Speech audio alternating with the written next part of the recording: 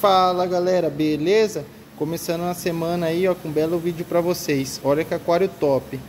Frente e lateral extra clean. Vou mostrar esse aquário aqui para vocês. Olha que top, ó. Esse aquário aqui, ó, vai lá para São Paulo pro nosso amigo Eric. É um aquário marinho ele tem 1,5 de comprimento, 40 de largura por 30 de altura. Vai ser um rifezinho bem top aí, hein? Esse aquário foi feito no vidro de 10 mm rimless.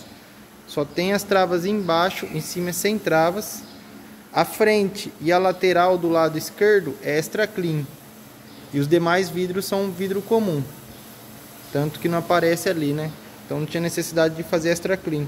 Mas olha que top, ó.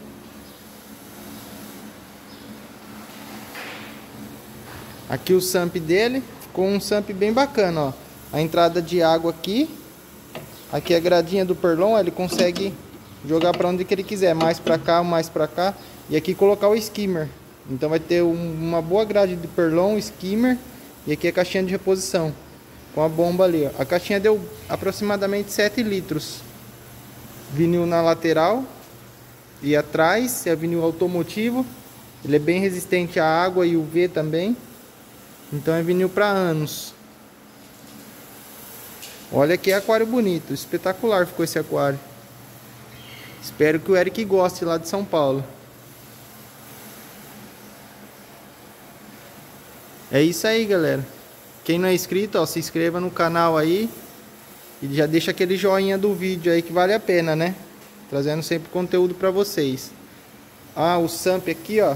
É um SAMP de captação dupla. Igual aquele do nosso Nano lá. Quem não conhece o Nano, vai estar tá o vídeo aí em cima, é só clicar aí que já vai assistir. É isso aí, galera. Valeu!